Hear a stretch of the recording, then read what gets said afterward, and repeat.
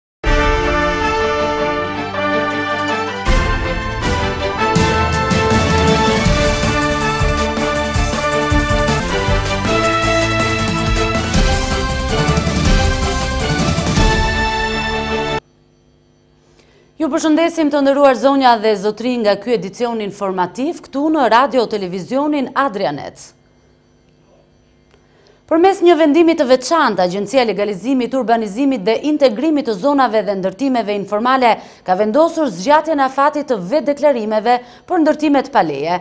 Pranë drejtorisë rajonale të Aluiznit në Durrës, mësohet se afati i ri që tashmë është deri më 31 janar, do t'u japë mundësi edhe emigrantëve që të aplikojnë për legalizimin e shtëpive të tyre të ndërtuara pa leje. Ardhja e emigrantëve dhe fluksi i lartë i aplikimeve në zyrat e Aluiznit ka sjellë shtyrjen me një muaj të afatit të vetëdeklarimeve të ndërtimeve pa leje. Një fakt i tillë konfirmohet për Adrianet nga kreu i Drejtorisë Rajonale të Aluiznit Durrës Flamur Gjuzi.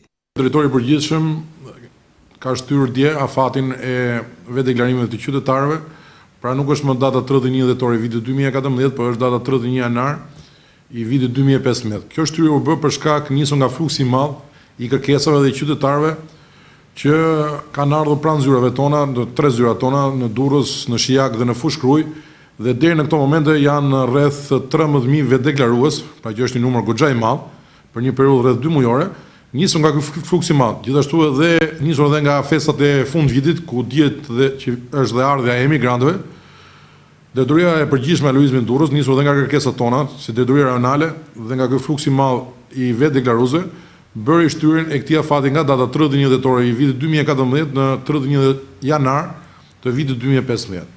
I bëj thirrje gjithë qytetarëve të qarkut Durrës, pra qytetarëve të mi, që. Ky është afati i fundit. Pra kjo është shtyrja e fundit që qeveria shqiptare shtyn për procesin e vetëdeklarimit të ndërtimeve informale. Do të më vinte jashtë mase keq që për neglizhencë të qytetarëve ato mos vinin të vetëdeklaronin ndërtimet e tyre të paligjshme pranë zyrave tona, pasi Në rast të kundërt, përgjegjësia do të bjerë mbi vetë qytetarët, e cila kjo përgjegjësi mund të shkojë edhe në prishjen e objekteve të tyre informale. Ditët e fundit, si në të gjithë vendin edhe në Durrës janë kthyer mijëra emigrantë për të kaluar festat e fundvitit pranë familjarëve të tyre dhe shtyrja e afatit të vetëdeklarimeve deri më tridhjetë e një janar të vitit dy mijë e pesëmbëdhjetë u jep mundësinë atyre të aplikojnë qetësisht pranë zyrave të Aluiznit për t'u bërë pjesë e procesit të legalizimeve. Pas Tiranës, Durrësi është qyteti i dytë me numrin më të madh të ndërtimeve informale. Gjatë muajve të fundit në qarkun e Durrësit janë evidentuar rreth njëmbëdhjetë mijë vetëdeklarime, shifër kjo që i shtohet shifrës prej afro dyzet e tre mijë të mëparshme që i përket periudhës dy mijë e pesë, dy mijë e trembëdhjetë.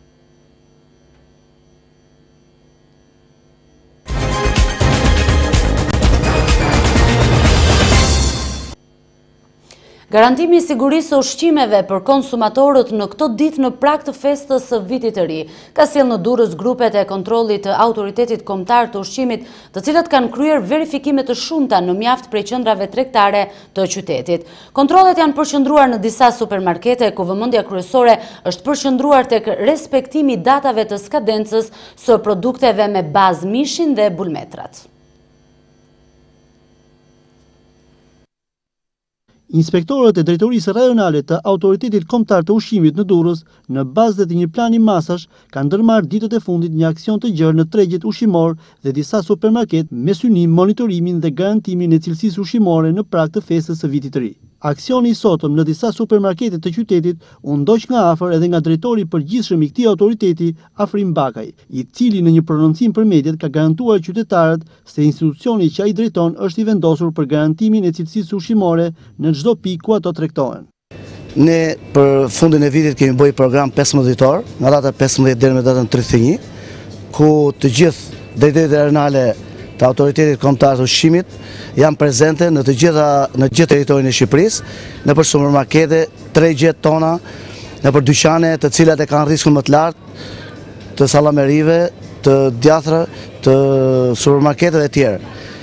Autoriteti Kombëtar i Ushqimit për vitin 2014 ka qenë prezent pothuajse në gjithë territorin e Shqipërisë, por edhe me një veprimtari shumë të gjerë. Numri i inspektimeve pothuajse është rritur gati 11.000 inspektime në këtë vit, ku ne kemi ndikuar për të rregulluar si tregun e mishit, qumshit, djathit e shumë produkteve të tjera, salamit, Kreu i Autoritetit Kombëtar të Ushqimit, Afrim Bakaj, u bën apel qytetarëve që nëpërmjet një numri të veçantë telefoni të denoncojnë çdo veprim apo akt që cënon cilësinë ushqimore në treg. Sot unë përpara mediave do të theksoj për gjithë qytetarët që të denoncojnë të gjitha ato veprimtari të cilat janë abuzive, por që nuk shiten nëpër supermarkete, por shiten nëpër ambiente rrugësh apo dhe vende të palicencuara. Ne kemi një numër jeshil 0800 75 75, por dhe një adresë e-maili info at aku pikë gov pikë al, dhe këtë dua ta theksoj me shumë rëndësi, sepse nga gjithë konsumatorët shqiptarë, ne presim denoncimet tuaja, ky numër jeshil dhe kjo adresë e-maili funksionon non stop në autoritetin kombëtar të ushqimit në qendër, dhe ne për çdo denoncim që marrim, vem dhe ekzekutojmë të gjitha abuzivitetet që bëjnë disa qytetarë të pandërgjegjshëm. Aksioni i nisur nga Autoriteti Kombëtar i Ushqimit, si i vetmi institucion që garanton cilësinë ushqimore në vend, do të vazhdojë edhe në ditët e ardhshme, në të gjitha supermarketet, tregjet ushqimorë apo pikat e shitjes ku tregtohen produkte mishi, me qëllim që qytetarëve t'u garantohet cilësi dhe siguri për ushqimet që ata do të konsumojnë.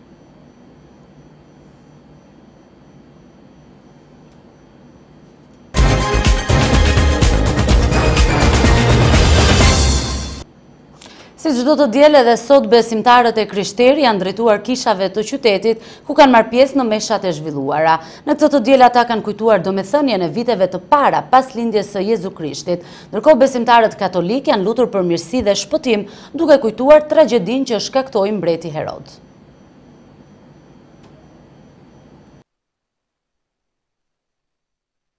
Të dielën e parë pas Krishtlindjeve, Kisha Ortodokse kujton ngjarjet që shoqëruan periudhën pas lindjes së Jezu Krishtit. Në këto ngjarje, përveç së Tërshenjtës Mari, Nënës së Zotit Krisht, merr pjesë edhe Josifi i Drejtë, i cili ishte në moshë të madhe. Kujdesi për Krishtin foshnjë ishte që nga momenti kur e tërshenjta Mari mbeti shtatzanë prej frymës së shenjtë. Ai nëpërmjet besimit dhe përulësisë së tij përpara Perëndisë mundi të ndërgjegjësohej për mrekullinë që kishte ndodhur me ngjizjen e së tërshenjtës. Madje ai nuk është një pranues pasiv i mrekullisë, por bëhet pjesë energjike e kësaj ngjarjeje të madhe për qenien njerëzore. Ai bëhet dëshmitari okular në momentin e lindjes së Krishtit, ashtu siç bëhet dëshmitar i adhurimit të tij nga magët, kafshët dhe barinjtë. Ai me sytë, mendjen dhe qenien e tij pa dhe konstatoi që personi, i cili lindi nuk është një njeri i thjeshtë, por shpëtimtari që priste qenia njerëzore. Kjo e bëri atë të përkujdesej për Krishtin foshnjë kur kërkohej nga mbreti Herod që ta vriste. Madje me besimin dhe bindjen tek vullneti hyjnor, shkon në Egjipt, si për të sjellë edhe një herë në kujtesë udhëtimin e detyruar të Josifit, birit të Jakovit, rreth shtatëmbëdhjetë deri gjashtëmbëdhjetë shekuj para Krishtit. Është udhëtimi i cili shpëtoi popullin e Izraelit nga vdekja prej urisë, ndërsa udhëtimi i Josifit gjashtëmbëdhjetë shekuj më pas është udhëtimi për të shpëtuar, Shpëtimtarin nga tehu i shpatës, jo prej varfërisë trupore, por prej varfërisë shpirtërore. Po ashtu Josifi bashkë me Marinë dhe foshnjën Krisht bën një udhëtim tjetër nga Egjipti drejt Galilesë. Është udhëtimi drejt qytetit Nazaret i cili shquhej për varfërinë dhe për parëndësinë e tij. Ky udhëtim do ta shpëtonte nga vrasja e një mbreti tjetër Arkelaut. Josifi gëzoi për foshnjën i cili ishte shpëtimtari i botës. Edhe besimtarët e krishterë katolikë kanë përkujtuar sot me lutje një prej ngjarjeve më tragjike në fillesat e Krishtërimit, pak kohë pas lindjes së Jezu Krishtit. Në atë kohë, mbreti Herod, teksa e njihte profecinë e ardhjes së Birit të Perëndisë, urdhëroi të vriteshin gjithë fëmijët e vegjël. Ajo ishte një nga masakrat e papara dhe të padëgjuara më parë në historinë e njerëzimit, vetëm e vetëm për të penguar ardhjen e Mbretërisë së Perëndisë mbi tokë. Ishin njerëzit ata që e mbrojtën dhe e mbajtën gjallë Jezu Krishtin. Dhe sot, në këtë ditë të përkujtimit të kësaj ngjarje, nga besimtarët katolikë në mbarë botën, edhe në kishat e Durrësit janë drejtuar lutje për shpëtimin e njerëzisë nga mizori të tilla, për mbretërimin e paqes dhe begatisë kudo në botë, për mbretërimin e harmonisë mes njerëzve kudo në botë. Katër studentë të kursit të pikturës kanë kurorëzuar punën e tyre të këtij viti me një ekspozitë të përbashkët e cila u prit mjaft mirë nga shikuesit. Ekspozita shërbeu edhe për të treguar si ecurinë e talentit të tyre, ashtu edhe konsolidimin e mësimeve që ata kishin marrë.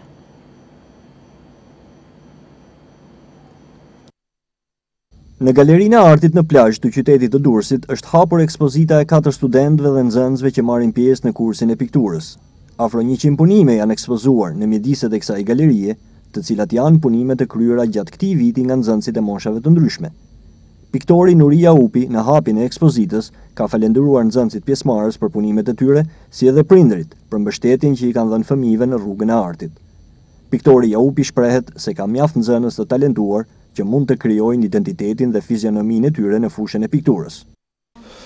Në grupmoshat e ndryshme, unë kam parë që fëmijët kanë dëshirë që ta njohin artin, ka dëshirë që të njohin edhe autorë të ndryshëm të pikturës dhe po të arteve të pamore, por kanë shumë dëshirë që edhe të punojnë vetë, në fusha të ndryshme, në zhanre të ndryshme, edhe unë shikoj me, me kënaqësi që ato që kanë ecur gjatë këtyre 2-3 viteve kanë arritur dhe rezultate. Ekspozita do të qëndrojë e hapur përgjatë muajve dhjetor janar, e tashmë ajo është kthyer në një traditë të çdo fundviti.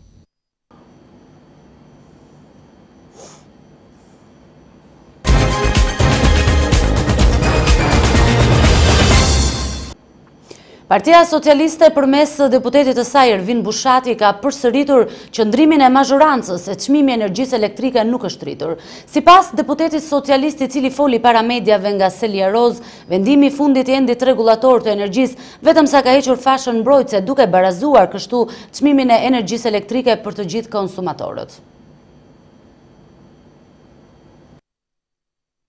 Partia Demokratike apo më saktë hesapxhinjtë e saj që sot u vjen zëri ose nuk e kanë paguar ndonjëherë energjinë elektrike ose janë mësuar ta vjedhin atë.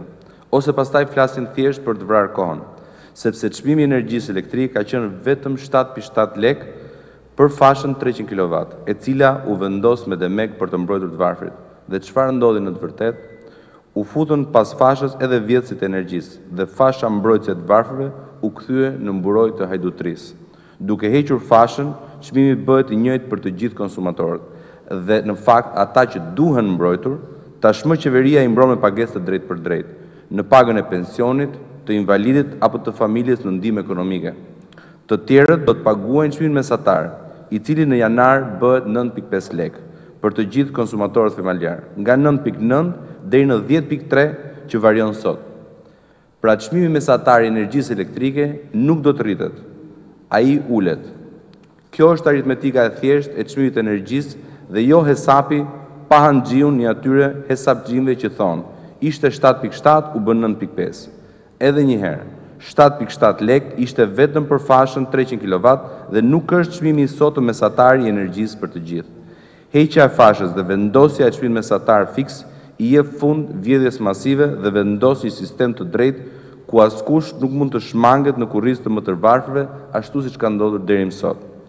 Kush nuk është pensionist kryefamiljar, invalid apo anëtar një familje me ndihmë ekonomike nuk do të paguajë më shumë, po vetëm aq sa i takon në bazë të konsumit. Të tjerat janë spekulime të turpshme ose thjesht hesape të gabuara për interesa të ulëta ekonomike, politike, për faj të hesapxhinjve të mësuar keq duke e shpenzuar energjinë elektrike si mall pa zot.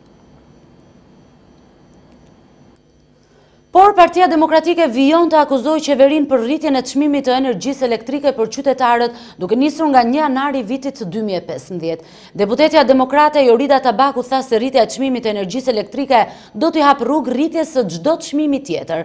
Sipas saj, shqiptarët do të paguajnë më shumë për energjinë elektrike, ashtu siç sot paguajnë më shumë për taksa. Shqiptarët do të jenë më të varfër nesër sesa sot, sepse shteti po dështon të luajë rolin e tij social.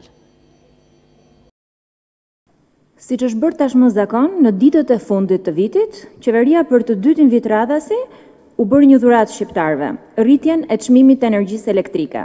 Nga një janar i vitit dy mijë e pesëmbëdhjetë, shqiptarët do të paguajnë më shumë për energjinë elektrike. Ato shtresa në nevojë, pensionistë, persona me aftësi të kufizuar dhe kushdo tjetër që deri dje ishte i mbrojtur, Sot, falë qeverisjes socialiste, do të paguajë nëntë pikë katër lekë për kilovat orë, në vend të shtatë pikë shtatë lekë për kilovat orë, dhe kjo pa TVSH, një rritje plot njëzet e katër për qind më shumë. Dje propaganda qeveritare po përpiqej që të na mbushte mendjen se çmimi mesatar është më i ulët. Unë nuk e di se kujt shqiptari i intereson çmimi mesatar. Askujt nuk i duhet sa është mesatarja, por secili prej nesh e bën një aritmetikë të thjeshtë. Dhe e kemi të qartë, që që nga një janari i vitit dy mijë e pesëmbëdhjetë, shtatëdhjetë e pesë për qind të familjeve shqiptare do të paguajnë plot njëzet e katër për qind më shumë në çmimin e energjisë elektrike. Të qartë e kanë dhe qytetarët, të cilët me të drejtë prisnin që qeveria të hiqte TVSH-në për energjinë elektrike, në këmbim të votës besuar, ndërkohë që ajo u dhuroi rritjen e çmimit. Akoma më më të qartë për fat të keq e kanë ata nevojtarë, që i besuan taksimit progresiv të qeverisë, dhe sot nëntëdhjetë e shtatë për qind e tyre mbajnë mbi shpatulla barrën fiskale të rritur. Të qartë e ka dhe qeveria, që po përpiqet gjithçka, të bëjë gjithçka për të mos thënë të vërtetën. Shqiptarët do të paguajnë më shumë për energjinë elektrike, ashtu siç sot paguajnë më shumë për taksa. Shqiptarët do të jenë më të varfër nesër se sot, sepse shteti po dështon që të luajë rolin e tij social, sepse shteti për shkak të paaftësisë po zgjedh rrugën më të lehtë, atë të ngopjes me taksa të qytetarëve.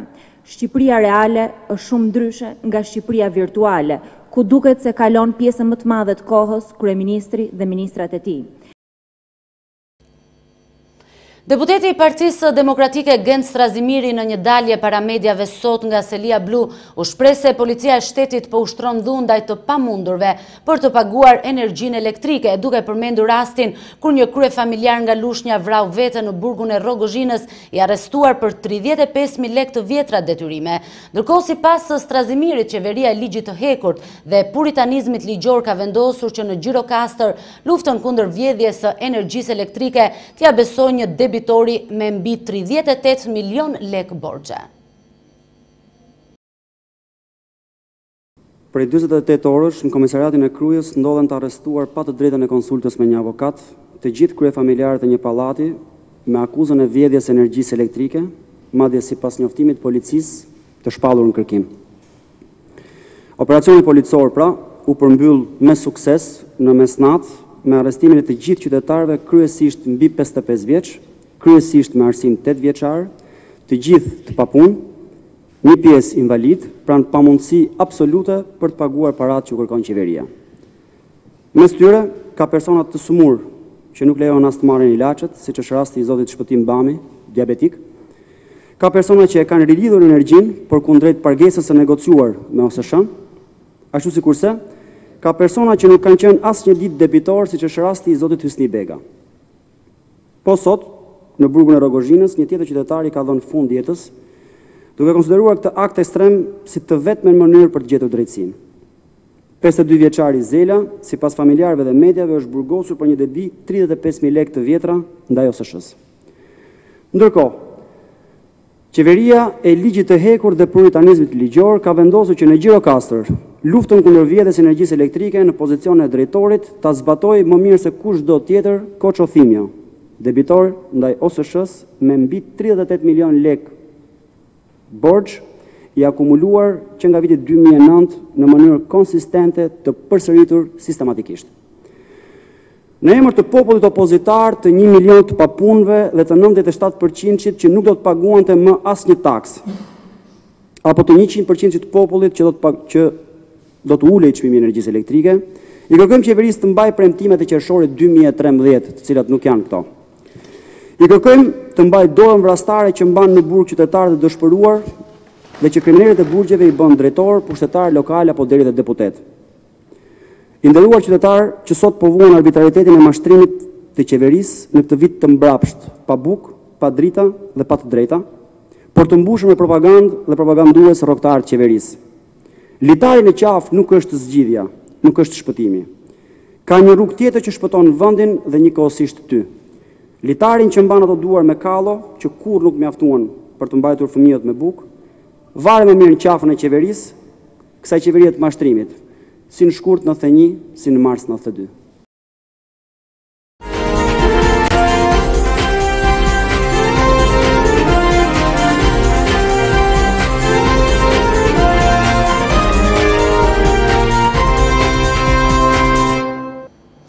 Viti i ardhshëm pritet të shoqërohet me rezultate edhe më pozitive sa i përket projekteve për nxitjen e punësimit në qytetin e Vlorës.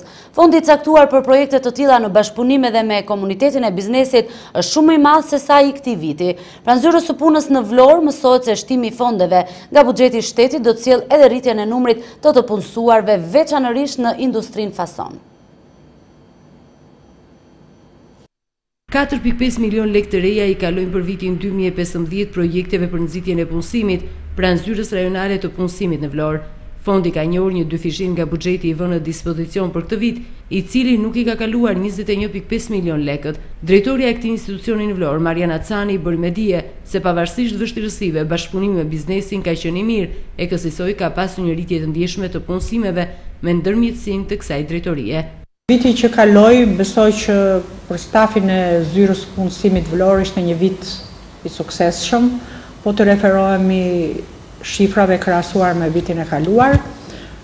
Natyrisht ky sukses i takon asaj që ne kemi bërë në bashkëpunim të ngushtë me bizneset për të rritur numrin e të punësuarve në rrethin e Vlorës. Risia këtë vit ishte që ne patëm një mbështetje shumë të madhe nga qeveria shqiptare me një fond prej njëzet e një pikë pesë milionë lekë për projektet e nxitjes së punësimit, që sollën si rezultat shtimin e numrit të të punësuarve për rreth dyqind e katër persona. Shpresojmë që viti që do të vijë do të jetë natyrisht një vit më i mbarë.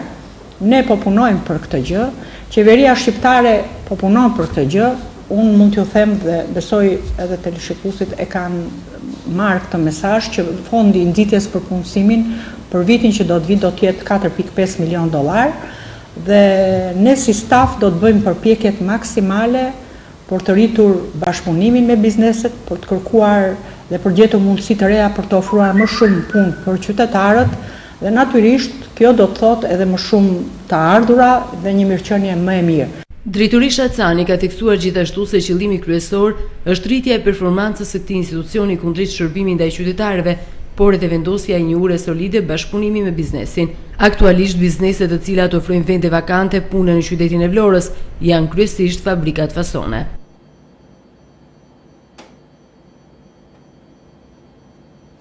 Pas dekretimit që i bëri presidenti i Republikës datës së zgjedhjeve vendore, Ministria e Brendshme ka filluar nxjerrjen e udhëzimeve për njësitë e qeverisjes vendore me qëllim që të nisë puna për përgatitjen e infrastrukturës së nevojshme. Në Sarandë, pranë institucionit të prefektit të Qarkut, është zhvilluar një takim i drejtuesve të zyrave të gjendjes civile për koordinimin e punës për hartimin e listës së zgjedhësve.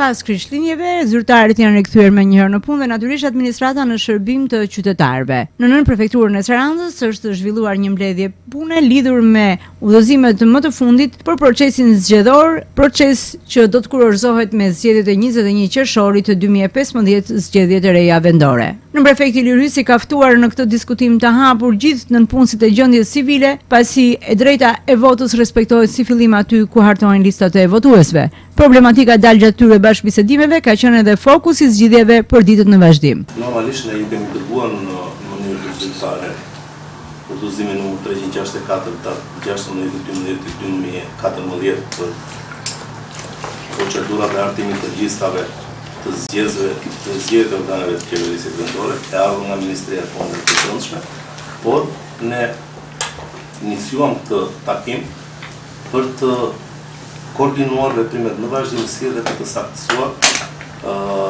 të gjitha pikat që janë vendosur në këtë udhëzim, si dhe zbatimin e tyre me rigorozitet dhe në afatet që përcaktohen. Mbledhja ka konkluduar në të gjithë problematikën që ka zona, duke patur parasysh edhe ndryshimet sipas Reformës së re Territoriale.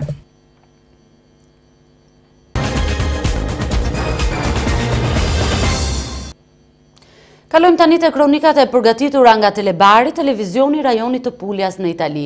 Një traget i linjës Igumenica-Ancona është përfshirë nga flakët mëngjesin e sotëm në ujërat e detit Jon. Shkaku i aksidentit ende është i paqartë ndërkohë që autoritetet greke dhe italiane nisën operacionin e evakuimit të 466 personave që gjendeshin në bord mes tyre edhe njëzet e dy shtetas shqiptarë. Mësohet se si pjesë e operacionit janë përfshirë edhe mjetet dhe efektivat e rojës bregdetare të vendit tonë. Një traget me katërqind e shtatëdhjetë e tetë persona në bord, mes tyre edhe pesëdhjetë e pesë anëtarë të ekuipazhit, i nisur nga Igumenica e Greqisë e me destinacion Ancona në Itali, është përfshirë nga flakët mëngjesin e sotëm. Sipas të dhënave paraprake, por ende të pakonfirmuara zyrtarisht, zjarri mendohet se ka nisur në garazhin e tragetit, ku kanë qenë të parkuara automjetet e ndryshme të pasagjerëve. Alarmi është dhënë rreth orës katër të mëngjesit, kur trageti gjendej në ujërat e detit Jon, në drejtim të Anconës. Autoritetet italiane dhe ato greke kanë nisur operacionin e kërkim-shpëtimit, e sipas të dhënave të para, njëqind e pesëdhjetë persona kanë mundur të largohen vetë me anë të varkave të shpëtimit. Ndërkohë, pjesa tjetër e pasagjerëve ka mbetur e bllokuar në katet e sipërme të tragetit e lëvizja e tyre drejt varkave të shpëtimit është penguar nga flakët. Sipas mediave italiane, rreth mesditës, flakët kishin përfshirë gati dy të tretat e anijes. Pavarësisht detit të egërsuar, mjetet detare janë munduar të largojnë sa më tepër njerëz nga trageti. Në operacion janë përfshirë edhe disa helikopterë dhe avionë të specializuar për operacione shpëtimi në det. Autoritetet greke kanë publikuar edhe listën e pasagjerëve dhe vendet e tyre të origjinës. Nga sa mësohet, mes pasagjerëve janë edhe njëzet e dy shtetas shqiptarë. Pjesa më e madhe e udhëtarëve janë grekë, por mes tyre ka edhe pesëdhjetë e katër turq, tetëmbëdhjetë gjermanë, si edhe të tjerë nga Suedia, Franca, Kanadaja, Italia e të tjerë. Në ndihmë të operacionit të kërkim-shpëtimit janë përfshirë edhe mjetet detare të Rojës sonë Bregdetare. Sipas të gjitha gjasave, drejtuesit e operacionit kanë bërë të ditur se janë marrë masat për shpëtimin e të gjithë pasagjerëve. Autoritetet greke dhe italiane nuk kanë konfirmuar të dhënat e para për dy persona të cilët mund të jenë zhdukur mes flakëve.